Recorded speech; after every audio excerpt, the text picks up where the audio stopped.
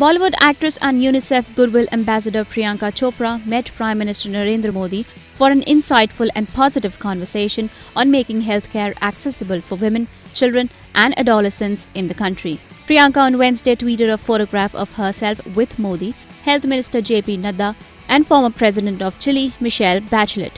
She sought Modi's support for being a patron for the Partners Forum to be held in the capital in December.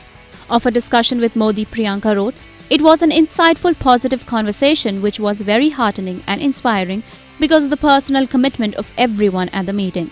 We covered a lot of ground from the various efforts being taken by individual countries and partners to building a collective environment that could help propel the change we seek for a better world.